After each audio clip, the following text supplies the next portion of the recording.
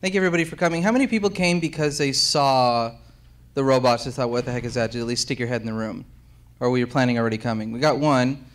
Okay, so we got one person. That's Aaron. Yeah, we almost ran in yours when you weren't done. Um, oh, I hope so. So it worked. Okay. Well, thank you everybody for coming. My name is Brian Potter. I'm Aimee Woodall. And we are psycho people who are going to talk to you about doing psycho things.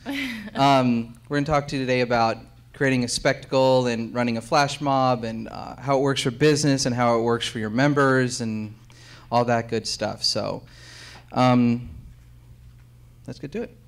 This charming creature is Aimee.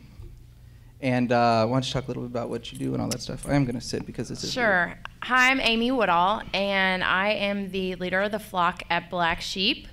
We are a PR firm that does social media, PR, marketing, and events, but what sets us apart is that we also incorporate experiential marketing into our marketing mix. And, and what that means is generally um, what you might be familiar with flash mobs, gaming techniques, and other experiences essentially that allow people to come in and participate with the brand and to experience the brand and to have a feeling of community with the brand uh, as well. So uh, that's kind of it. I guess we have a side arm of our company called Stunt. It stands for the Society of Troublemakers Uniting in the Name of Theatrics. And our stunt club helps to fuel our efforts with various brands as far as creating these flash mob experiences. It's, it's sort of our little tribe of troublemakers. So I'm, I'm also the founder of the Stunt Club, and I've, I've been in the, the PR industry for about 11 years now and started Black Sheep two and a half years ago because I noticed that the economy was changing a little bit and the way that marketing works was changing a little bit, and that people in general were expecting a little bit more out of the way that brands communicated with them and allowed them to be a part of shaping the brand. So, um, so that's kind of what Black Sheep is all about. Uh, and again, I'm Brian Potter. Um, I started the Houston Flash Mob. There are many people who call themselves the Houston Flash Mob, but we are the Houston Flash Mob. Um, at Schipul, I'm the video content specialist, so I do video production for Schipul. Uh, I've done that for over 10 years. I was in-house media director at Lakewood Church, um, and I worked on a television show, and none of this has to do with Flash Mob stuff, so I'll talk about that. Um, the reason that I started the Houston Flash Mob is that uh, I moved to Houston and I saw, I'm a big fan of Improv Everywhere. How many people have heard of Improv Everywhere? Huge group, hundreds of millions of, of hits on their YouTube stuff and on the website alone. Uh, and I thought, wow, that'd be awesome. Now, I started doing theater when I was about six years old. So I've been involved in theater in all different areas, either from acting to directing to lighting, all kinds of stuff. So I thought I'd love to do something here in Houston uh, let's do, I wanted to do a pillow fight, actually, was the first thing that we did. We did it at the Museum of Fine Arts uh, in that little crosswalk there.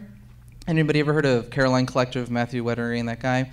Uh, he brought a feather pillow, and that burst out at the end. That was a lot of fun. And the reason that I started the Houston Flash Mob is because I didn't find anybody who was doing it on a collective kind of basis. There was no group, there was no website. HoustonFlashMob.com was available. I was like, score. Um, so I wanted to start something, and I, uh, our, the purposes of the Houston Flash Mob and the, our tagline is, is because too many people take themselves too seriously too often.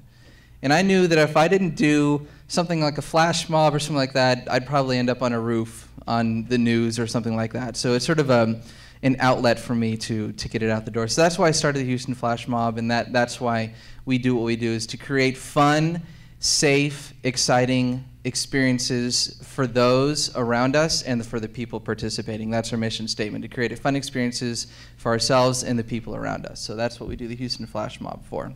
So let me jump in really quick yeah. and say that Brian and I are going to kind of have a dialogue going up here. I do this for brands uh, professionally and very strategically. And Brian, as he just mentioned in his tagline, does it to create experiences, fun, and entertainment for the public and the people participating. So uh, at times he's going to talk in that direction, and I may jump in and, and bring up points that you need to know when you're doing this for your company or for your brand. And when I'm talking about doing it for your brand or your company, he's going to jump in from the participant side and the entertainment side and sort of the organic side to maybe keep some things in mind for um, making sure that the people who are participating in your flash mob or in your experience that you're creating are still having a good time and keeping that uh, in mind. So at times it may seem that we are it's like Microsoft in, and Woodstock jumping in and cutting each other off, but we just want to make sure that we show you a balance uh, for both sides, e- either business or or entertainment. So. Uh, what we want to do also is we want to show you a video. Everybody loves video. Uh, so this is, I mentioned earlier, the, uh, the Improv Everywhere group, and that's not right. So let's go ahead and do this. this is a video that has 28 million hits. Um, oh, good, an error occurred. Awesome. So. This is not part of the stunt. Oh, yeah. We will talk about creating the unexpected. Sometimes that happens when yeah, you don't I have intend no it to. internet. I have technology. Uh, click on the Wi-Fi. It may be that it switched over to. Yeah, it did. It's like, oh, you can do a presentation? How about no? Here we go. It's pulling up. I feel like Steve Jobs. Can everybody turn off their Wi-Fi, please? We're trying to do a presentation. Too soon for the Steve Jobs. Oh, that, that wasn't a knock. That wasn't a knock. no, no. Oh, great. Thank you. Good night. No, that was a. Okay, this may not load. I'll let this load in the background, I think. And if we start hearing some audio, we'll know it's playing, so that'll be our cue. Um, I was going to show you a video. Oh, seriously? For love of Pete. Okay, do you want to move on? I think I want to move on. Because it's not doing my thing. That was a video of. Um, uh, no, I, I, I, do want to explain it though. Um, maybe I'll explain it while it's it's trying to load. Uh, it was Improv Everywhere did this thing at Grand Central Station in New York City, and uh, they got an enormous amount of people. It was, I think, one of the. Uh, it inspired me to do the freeze. We did a freeze at. Um, oh look, I'm awesome. Uh, we did a freeze at the um, Edwards Cinema off of I-10 by IKEA. You guys know that area? We almost got arrested. It was awesome. Um, the managers, you want to freak people out? Freeze in the middle of a movie theater. What's going on? I think we need to get up there right now. Um, so uh, it, it's uh, a bunch of people at Grand Central Station. They had like 15 cameras, and it's a beautiful shot because there's a big wide shot of the ground, and all of a sudden, half the people down there just stop. And one of my favorite things that they did in it was they um, there was a couple, and they, they were kissing and they held they like freeze kissing and that was kind of cool.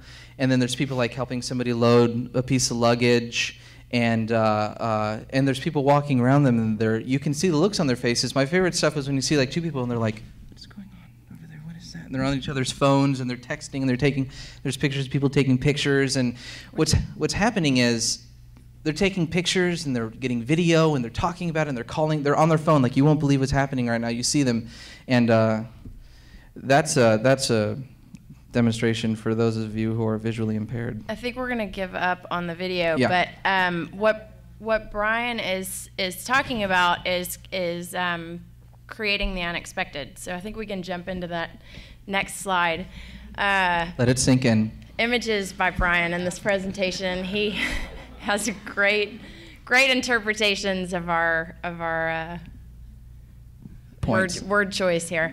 So um, so creating the unexpected and and how that affects the people around us. Um, so that's why flash mobs, why experiential marketing, why stunts are so successful because they're unexpected. That's a keyword that we use around our office all of the time. When we're brainstorming and we're creating some sort of an experience for a brand, the number one word that we use after we've come up with ideas is unexpected. Is it unexpected enough?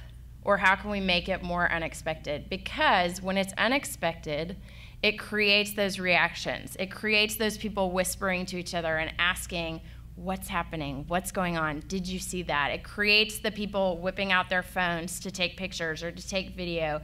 And then what do they do? They go and share that information. So, um, you know, imagine that you're walking to work and you encounter a flash mob, or you encounter a guy in a gorilla suit, or you encounter something that's unexpected. The first reaction that you have is to go and tell someone what you saw. And that's why on our side, um, that's why it's it's entertaining for them, but it's also so successful for brands because it creates that viral word of mouth uh, storytelling. It creates the sharing and it creates that stuff not from a brand perspective, not that brand saying, guess what we did. It creates all of these ambassadors and witnesses that then go out and say, guess what I saw? Guess what Black Sheep did? Guess what Schipul did? Guess what their clients did? Um, so that's in our minds why it's so successful because it's unexpected, but then more importantly, it spurs action. It, it spurs that conversation and gets people to start talking. Yeah, you see all the time. People are used to um, seeing uh, billboards and commercials and stuff like that, but you probably didn't expect to sit in your session today and have a bunch of people carrying cardboard robots interrupt you completely, and you probably thought to yourself, "What is this?" You know what I mean? And you're like, "Oh, this is interesting." So creating the expected is extremely important. The other thing is exciting. It's a lot of fun. Flash mob guys in the back, did you have a good time hanging out and doing the thing, right? They came out on, on a Friday. They're so committed and they, they think it's so exciting and so much fun to do this. They're going to come out at, you know, 11 o'clock in the morning on their Friday and, and do it. Um, it builds excitement and, and people share it with it and it helps to, to grow your organization and, and it's not just um, setting up a tent with 92.5 you know it's something different and exciting and, and fun to go off of Brian obviously has a great radio voice that he's going to chime in every now and then. I love to talk on the radio. Um, you want to switch to the next yeah. slide? Uh, so one of the things from a brand perspective that led us to start utilizing this tactic with our clients, um, I mean, really, it was one of the foundations of our business, and the reason for that is that with the advent of social media and just the increase of sharing online. I mean, most of us can probably agree that people overshare online. Um, there's just constant information going out, and I'm sure everyone in this room has trouble keeping up with it. I know I do. It's it's a constant struggle for me on a daily basis to figure out what to pay attention to and what's important and how to filter all of that down and what the best way to keep track of it is, whether it's RSS feeds or you know curating things on on my Twitter feed that I need to watch. Um, so that's a big struggle, and that translates over to the marketing mix and what you need to be doing as a brand. There's so much clutter, so you you've you've got to step up your game in order to get attention.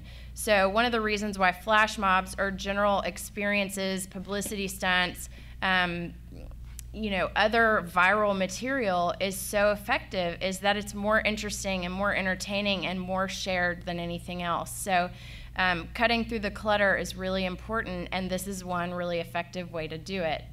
Um, you know, oversharing is, is, a, is a big problem, but it's also a great asset for uh, you as, as business owners and, and marketers. Um, when you create great content, the oversharing becomes a real power tool for you. So um, that's one one reason why flash mobs and and these things are so effective. Just the entertainment value and the the ability to share it and cut through the clutter. Which conveniently leads us to creating viral conversation and igniting word of mouth. This is something that I, I've kind of already touched on, but uh, it's really important when a brand is talking about themselves and Coke or Pepsi or, or one of these big major brands, Adidas, any of these brands are saying, we're so great and here's why we're great, you may listen, but it's the brand telling you how great they are.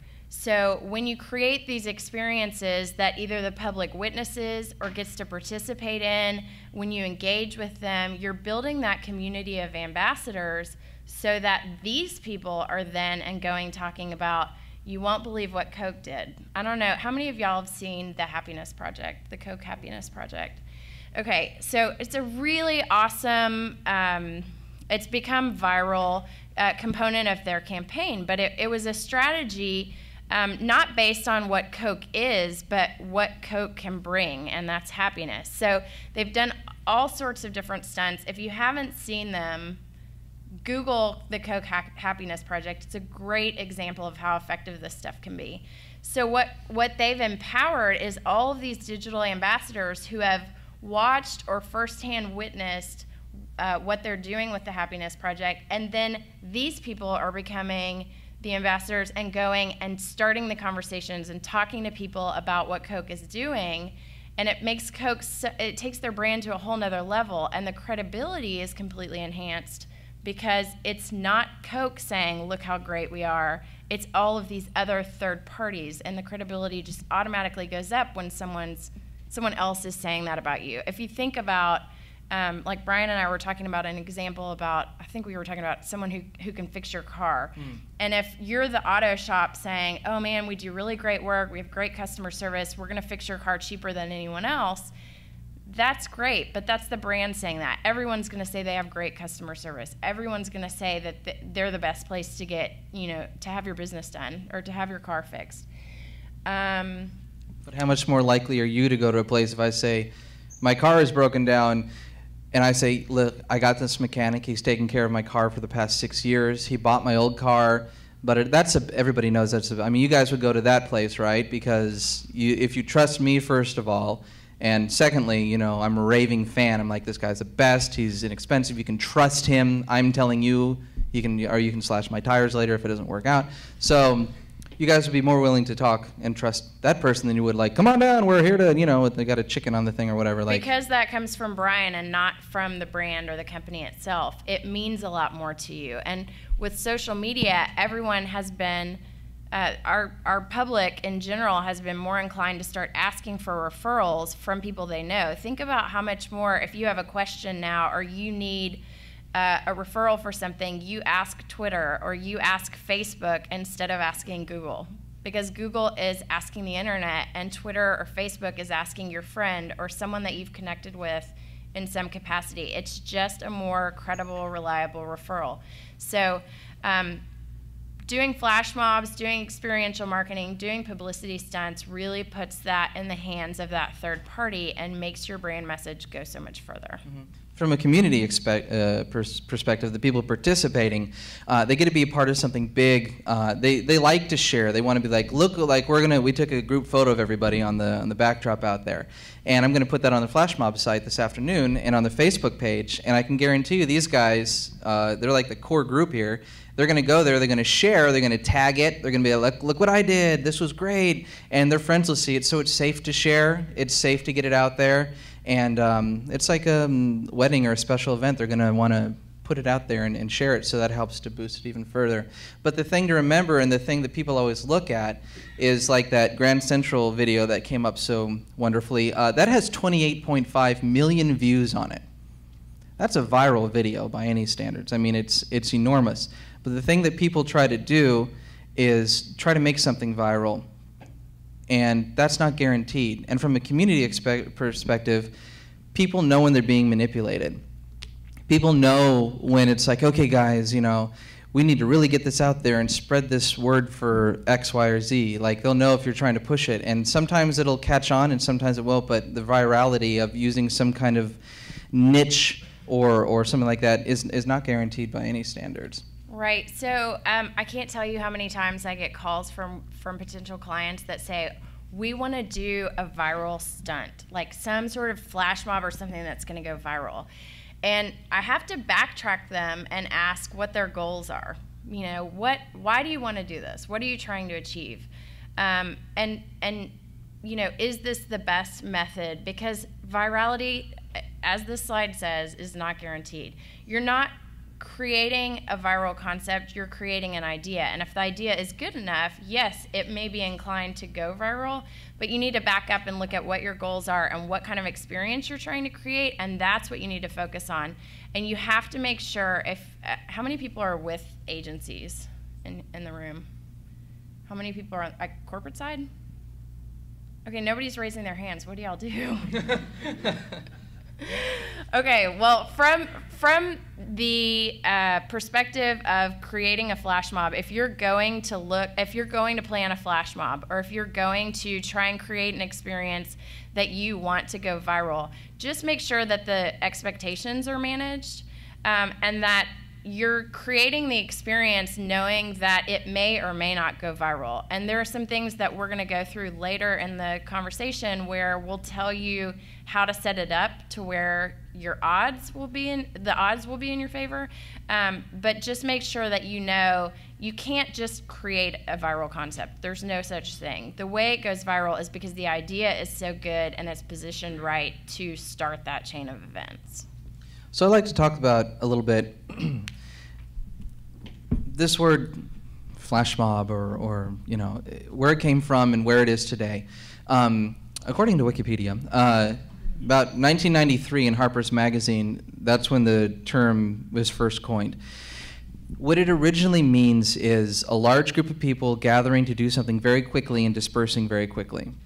That's sort of the technical term of a flash mob. And it started out with text messaging. People are like, hey, we're at this thing, why don't you come and tell your friends, and that kind of a thing.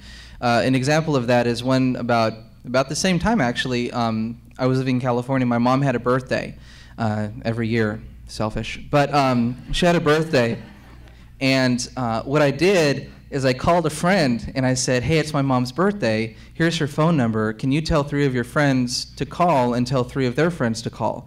I didn't understand at the time the ramifications. She got like 60 phone calls that day um, from people from all over the place, and it got way outside of my circle of friends. That's how flash mobs originated. It was, let's go here, and then sort of the viral concept went out what's happened, re- I got to stand up, I can't talk sitting down. Uh, what's happened recently a lot of times is you start to see people sprouting up like Improv Everywhere. Now, there's a distinction. Improv Everywhere does not classify themselves as a flash mob. Be, to be perfectly frank, the Houston Flash Mob, I don't really consider what we do. Uh, how many people think when they hear flash mob, dance? They think it's a dance. A lot of people, in fact, one of the most common things we get asked on the flash mob thing is, when can we do the thriller dance? That's like the number one thing that everybody wants to do, the thriller. Like it's one of the hardest dances in the world, right? But everybody wants to try it. So um, everybody thinks it's a dance. I technically, personally think of us more or less as performance art, if anything. Um, and what happened recently, in the past about six months, I had to shut down flash mob stuff altogether because talking about the history of flash mobs, you guys know all the stuff went on with London you know, getting burned up and everything. Do you know what the word they were using to describe the people going through the town were? Flash mobs. So I said to the group, I said, look, guys, we got to shut stuff down for a little bit. Because if I say we're going to have a flash mob at Discovery Green, guess who's going to be there in addition to us? The SWAT team with tear gas. Like, hey, we're checking, oh, God, you know, that nobody wants to do that. So uh, it, it took a little bit of a turn. You guys hear about those people going to convenience stores in like Chicago and stuff like that? What do they use for those guys? Flash mob. They started calling it flash mob. So it, it, has a negative and a positive connotation, what the general public associates with, because this is a niche thing. If you know about it, you know about it. If you see improv everywhere, if you see somebody else doing something and think, oh, that's a flash mob, you think that's a lot of fun. But the people who do it on a regular basis and like to be involved in the community know that it's a flash mob. So a little bit of the history is to start out with people getting together with text messages, and then improv everywhere kind of came on the scene, and they they're amazing. If you go to improveverywhere.com sometime, fantastic group. They're doing it right. And, um, and then other groups started to spread out of that. And then it got into the PR social media scene, and people started. You see the commercials for like um, we corrupt Old Navy, yeah, the man. No, um, you see like uh, commercials for like Old Navy, and they came in with the hammer pants dance. Did you guys see that?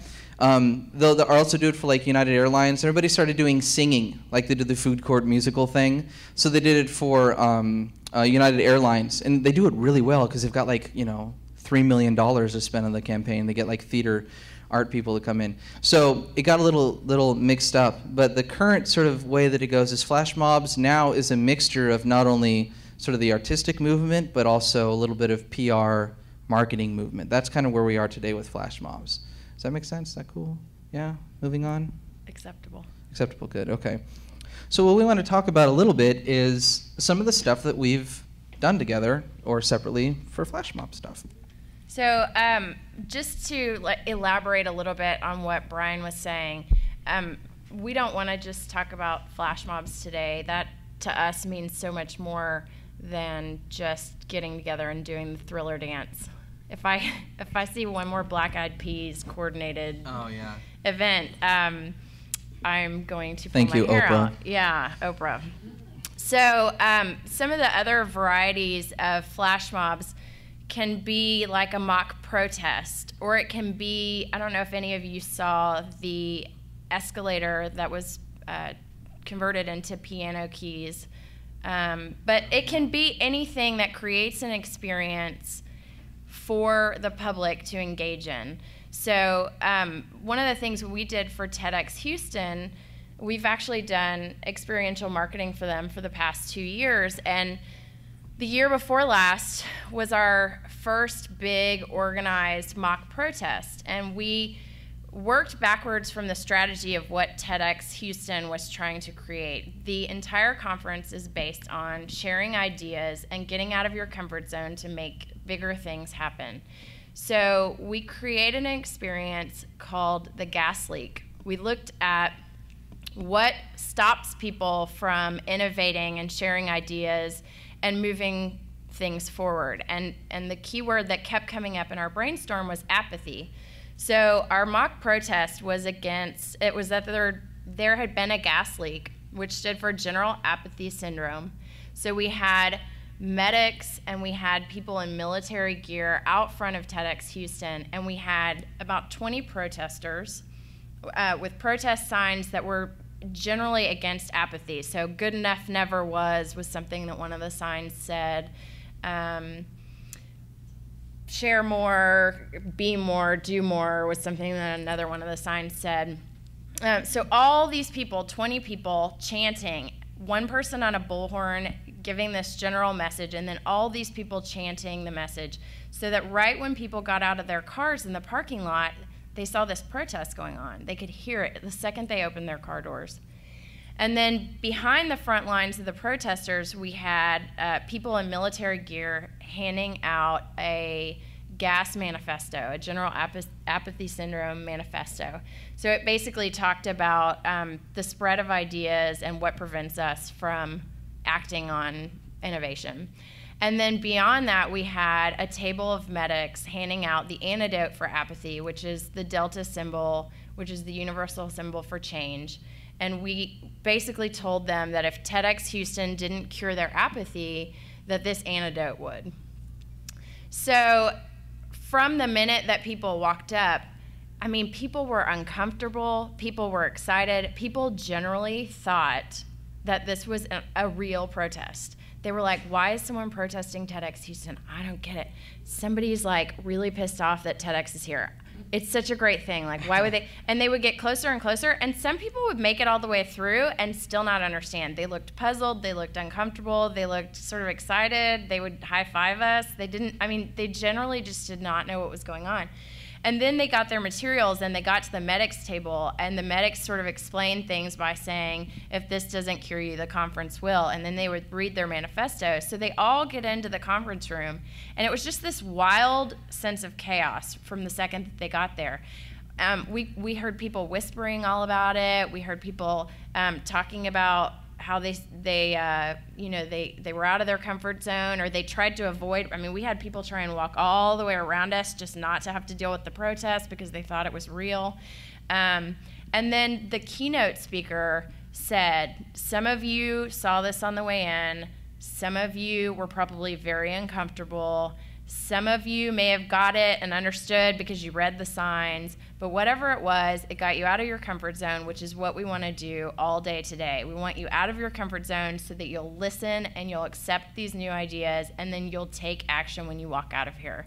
So um, that's just sort of the way we work. We look at the end goal of what the person is trying to achieve, and then we work back from, backwards from that so that we can create an experience that's not just I mean, and no offense to Brian because I think it's really cool what they do.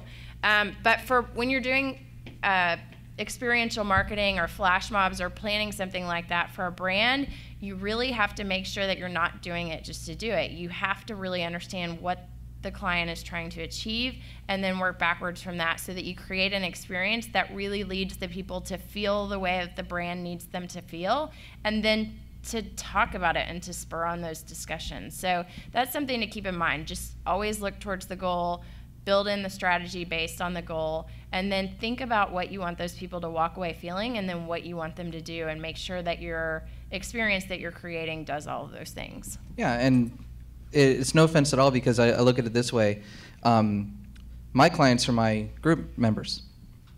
Those are my clients. I don't own this like well, talk, we'll talk about that in a minute about uh, getting ideas, but it, it's the same thing, only different because you know um, when you're doing that, you're dealing with either uh, the people you're, you know, the brand you're putting out for, or the people that are, you have to have people somehow to to do these events, and so my goal is always to keep our people happy and the people around us happy. So, um, but I wanted to. She talked about a, great example. I'm going to talk about a little bit of a, a, cool thing, but kind of a bummer too. Um, I don't want to just talk about like how it can be great. I want to talk about some things to avoid a little bit too. Um, and the example is daybreakers.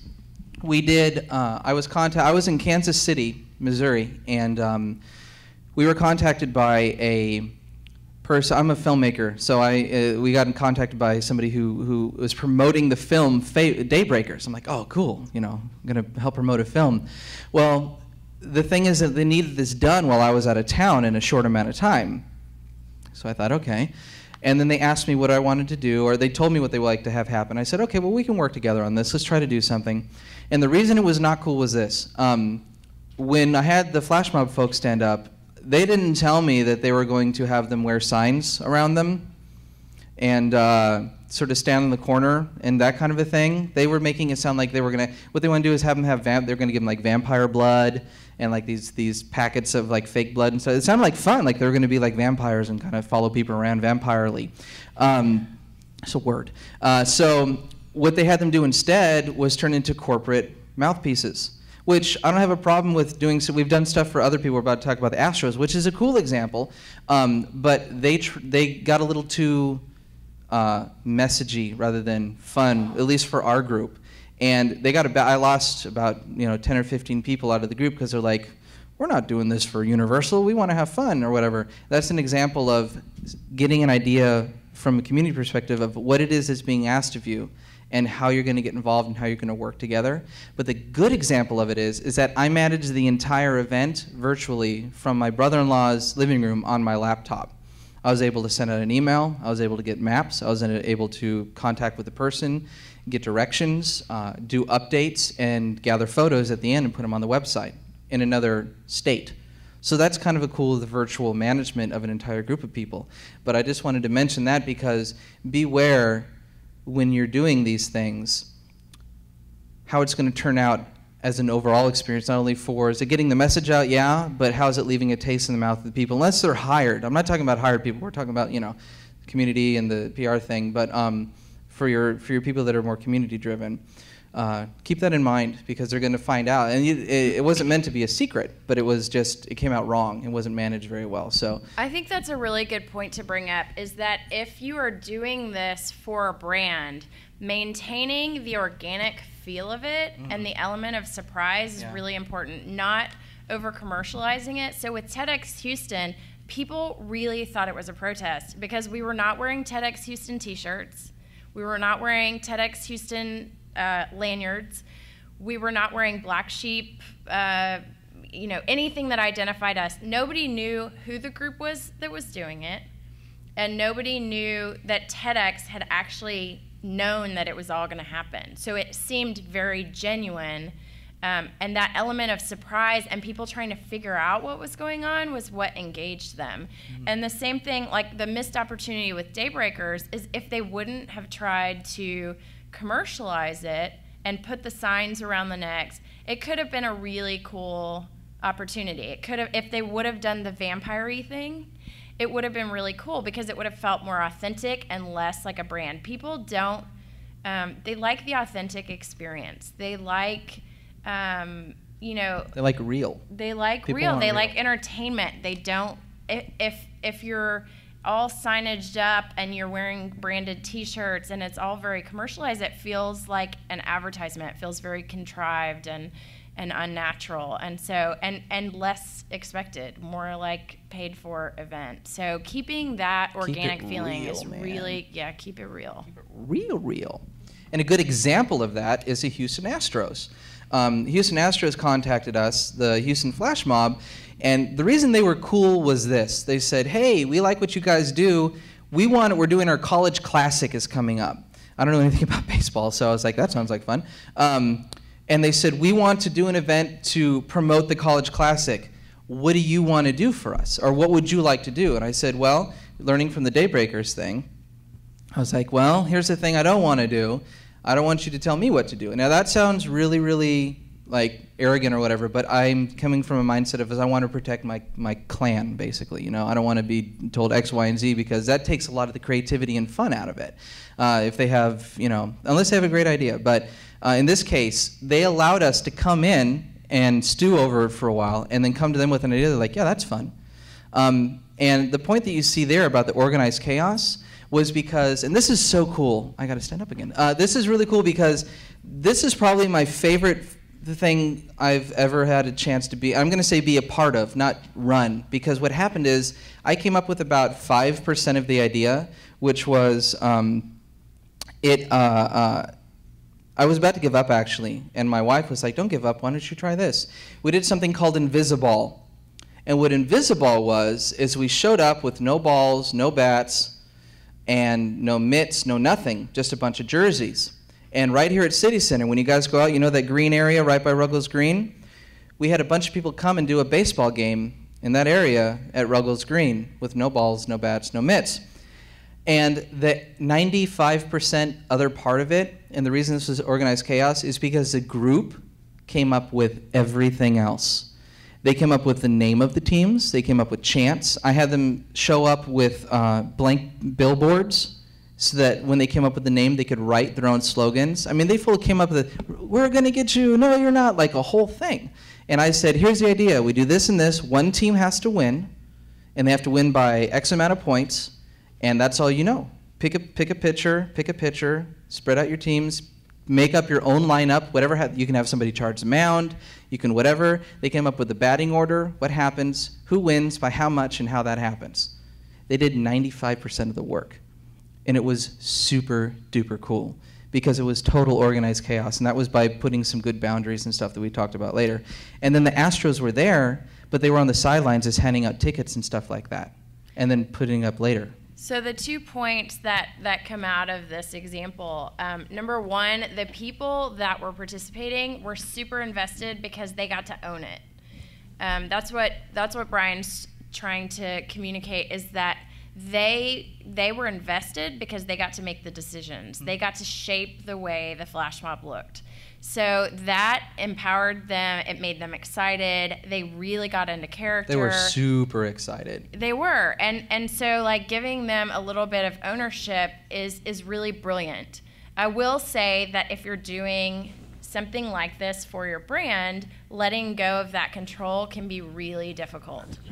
Um, it opens the door for new risks, for things to go wrong. Um, and so when you're doing it for a brand, you may want to uh, reel that back in a little bit and have a little bit more control, but you can find other ways to make it really fun for them to participate. Mm-hmm. But you have to control it a little bit. Yeah, to keep it safe for the Astros, what we did is that we didn't say anywhere on the mailings or anything, and we didn't get paid for this, by the way. We just did it. Um, uh, we said we didn't say anything on the mailings or anything like that that this was for the Houston Astros. But what we did is we made a deal with the Astros so that afterwards they would give us like 10 tickets for people, sort of the, the follow up is for 10 people of the group. And what I did is whoever posts, the first 10 people to post a comment or the first 10 people to tag somebody will get a ticket to the college. So we used it to, to recruit and to get hits on our page and to get people to share. And um, it was all from the Astros, and it said the College Classic, and it's going to be during this date, so we gave them a plug and all that stuff. And so they helped us out, we helped us out, and it was a total win-win. And it was super awesome, it was very successful, gave them a lot of publicity and stuff. It was really cool. And the best part is at the very end, this is just an anecdote. There's a family that came with a little girl. She got the Grand Slam home run that won, and they picked her up and they carried her off of the field. And so my favorite part of the whole thing was the family, and she's like this. It was really cute. It was a whole family participating, and it was like a family memory. And I loved that. That like they walked away saying, "Hey, you remember when we blah blah blah?" And she was so tiny. It was so great, and they cheered and everything. It was it was perfect. It was really cute. So that was a good example of how brands can can orchestrate a flash mob but not infiltrate the flash mob with branding and commercialization. So, like Brian said, we were completely gone by the time the Astros folks came out, and they came out and passed out information and stuff. Mm-hmm. But the crowd was intrigued; they were entertained. They were we involved. had a good time. Everybody who was involved, participating, had a good time. I mean, it, it was just so neat how everybody just sort of gravitated towards watching. And then once we were gone, the Astros people came out. So it it just it was very separate and it was very casual, and that left everybody feeling really good about it. Yeah, it was, it was. It was funny to watch the security officer's reaction. By the way, every time. And that's, I mean, that's a trend that you can follow. Um, so we're actually in the process right now of organizing a ninja flash mob. So if anybody's into that, let me know. Um, and the ninja flash mob is for our client, and there will be no mention of the client. There will be no branding, and we had to talk to our client about how that would work. But so the entire flash mob is going to be completely organic. The only way it's going to associate back to our client is the way that is shared after the fact. So it's going to be a really fun experience. It's going to be um, totally free of commercialization until it gets shared online. So um, there's just different ways to approach that where you can have a healthy balance. Was that the one you were telling me about with the real swords and the blood sport and all that? Yes. Is that the one? No. Murder. Okay. So you've got a lot of information now about flash mobs are effective, flash mobs work, flash mobs are good. I want to talk a little bit about, now that we have that information, um, how do you run a flash mob? Now, this is a handout because you're about to see four slides that are like wall of text be like, oh, okay, I'm checking out. Please don't check out. This is information that's really important. Um, so there's a couple different things, um, and we're going to go back and forth about how to do this. Um, we've got about 1,500 plus people on our mailing list for the Houston Flash Mob, um, and the recruiting aspect of it. I wish I had more information because, to be perfectly honest, I'm a little baffled. But I think the biggest part is one, put a sign up form on your mailing on your website or when you use MailChimp or something. There's a list of resources, I think, on the second page. MailChimp is your best friend. It's a free mailing list piece of software. Create a list, create a form, find the link for it, and send it on your mailing. People will just sign up for free. It's fantastic. It's amazing. So when you set it up, the email list is the number one way we get people to come to our events. And they can forward it on and stuff like that. So recruiting, um, another thing for recruiting is I always ask people when they come to the event, I always say, how many people, like you guys in the back, Did you saw in the mail, where did you see the thing to come? Was it on Facebook you saw that? Okay, so I put a thing out on Facebook, and um, within the end of the day, we had um, we had over 60 people sign up for the mailing list, and we had five today. And that's another thing we'll talk about later is the percentages you can expect. But um, for recruiting, create a mailing list and just put a form out there and just start building, building that mailing list. It seems fundamental, but for FlashMob, it's a really great way to get them going. And then the other thing that helps with recruiting and for growing your guys is you empower your people to do things. Uh, we asked for photographers and video, videographers, an example of the Astros thing. That thing was we encourage people to come up with their own ideas, to do things that are creative, like we did a thing called Mall Rats we went to Memorial City Mall and wore rat outfits, and we ran through the mall after a piece, somebody with a piece of cheese attached to the front of their shirt. Good, right? So, um, but what we did is we just said, show up and wear your own outfit. I didn't tell, I said you can wear ears, a tail, whatever, and people show up with paint on their face, with a full on tail, big old ears. We allowed them to be creative, and that was a really big, important part of it um, ask them to tweet during the event. So many people, of course, are on social media, so we give them the opportunity, and this usually happens at the beginning, is you say, okay, how many people heard about this out of the other? And then you say, hey guys, while we're getting ready, why don't you put a tweet out about what we're doing? And they will. They'll put a bunch of tweets out, which is super cool. And then just, of course, secure a hashtag for whatever you're doing. So we had like mall rats, I think, or maybe we didn't. I might be not practicing when I'm preaching. I'm just saying that we should do these things. But uh, um, to get the hashtag for what we're talking about, do you want to comment on this? Um, the only thing I would say is that you, if you are doing this on the corporate side, you have already a brand community around that. So making sure that you're utilizing um, recruiting tools that your client may already have in place, or that you as a, a company employee may already have in place. Using em- employees as a resource is always really helpful. Um, and then, um, as far as empowering other people to be digital ambassadors. Um, finding ways to make sure that the photos come back to you or the video comes back to you that um, people are capturing is really important. Um, so making sure that they're not just tweeting during the event, but that there's a collective uh, site for people to go and post their resources, their feedback, to talk about. So, so sort of creating a forum ahead of time so that people know where to share that information, so that that information can go as far as possible, and that so also the brand can use that. This is a really valuable tool for creating engagement on social media for the brand, which is something that as marketers we struggle with constantly is how do we get people to participate on social media sites? So, um, you know, enabling them to do that and talking with people who are participating ahead of time about making sure they come back to social media and share that stuff is really key. Uh, I want to. I don't. I just mentioned this because I don't know if it's on the. Uh, do you guys have the resources saying the second page is is FileMail on there? The word FileMail under resources. No, okay. Filemail.com, F I L E M A I L.com. Write that down. FileMail is a free service that allows you to send, like, I think the free service lets you send two gigabytes. But I always tell people who come for photography stuff, you go to filemail.com, it allows you to upload multiple files and send it to you, and then you just download a zip file. It's the number one best way I found to get photos or videos from people because videos are big.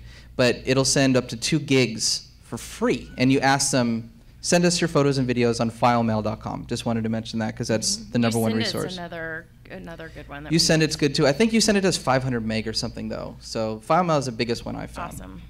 Okay, we're going to go through this. Because we've got about five minutes. Um, there, and we may skip some of this because it's, but the, there is one thing I absolutely want to talk about.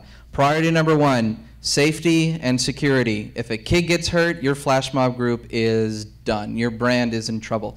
You have to do everything you can for safety and security. That, in, that includes when you send out your email. Hey guys, like for the Invisiball thing, I said, please do not bring bats, balls, uh, you know, face masks, it, just stuff like that. I had to be clear, like, please do not do this. Secondly, for the mall rats thing, I must have said it six times. Hey guys, we have to go slowly. Please be careful, and please be careful of the people around you. If somebody gets knocked over, if a little kid gets trampled or something like that, like you're you you're done. Like that's that's a terrible thing. Nobody wants that. Safety and security is absolute priority number one, no matter what, when you do these things. Particularly if you're a brand, you Yeah. don't want a PR crisis No. on your hands. So consider all things that can go wrong before you execute.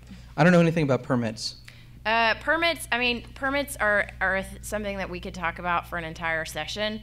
But if you are doing this as a brand or as a company, don't expect that you can just choose a venue and show up. Make sure that you do your resources, your research, you ask permission, um, and you investigate that. A lot of uh, anything that's going to happen on public space will require a permit. And if you're doing it as a brand, it's not okay to just sort of ignore that. If you're doing it for fun, it can be acceptable. But if you're doing it as a brand, make sure you do permit research or contact someone who knows. Oh. I was trying to pull up an example email. It's not linking, so that's awesome. Um, this is about getting the word out. So um, you have to double check. These are just mistakes that I've made. Like I put the wrong address. That was awesome. Uh, double check your information. Um, link to and embed maps. You can use Jing, J-I-N-G, which is a free piece of software to capture. Like from your screen, you can draw a thing. Grab an image of the map and then draw little arrows. Meet here. Do not meet here. Big red circle. Things like that. Um, uh, provide detailed instructions. Like arrive, if you want people to arrive at 10:45, tell them 10:15. It happens often. And make Um, sure they understand the meeting spot very clearly. Yeah, that's super important. Like we were meeting it here. Like for these guys, I said we're meeting it. I didn't want to tell them you're going to go to Norris Conference Center. You're going to go to the thing around the corner, up to the third floor. No, we're meeting in Anthropologie.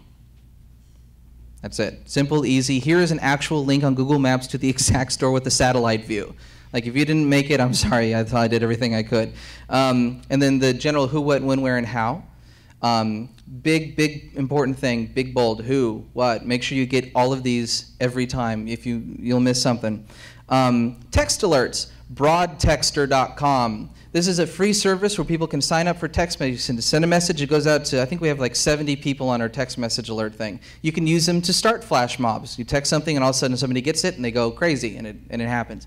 Broadtexter is great for that.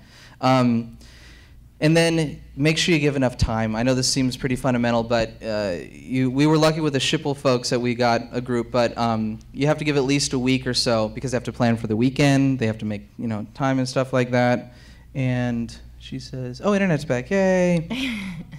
Things of that nature. Let's see. Hey, Brian, I think we're about out of time, but the last thing I wanted to touch on is something that is in this set of bullets, and that's keep it short and sweet keep it simple. When you're coming up with your ideas for uh, a flash mob or some sort of experience that you're trying to create in public, people have a tendency to make things very complicated because they want it to be elaborate. They want it.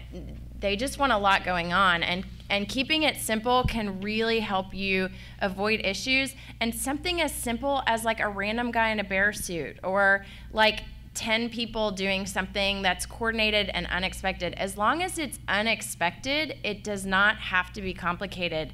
And trust me, when the more complicated you make it, the more variables there are for things to go wrong or things to look chaotic. And the the key important thing to make happen is to make sure that it's clear what's happening and it looks very organized. So keeping it simple, the, the simpler it is, the more organized it's going to be, the less possibility for things to go wrong. So just keep that in mind and, and try and keep it simple.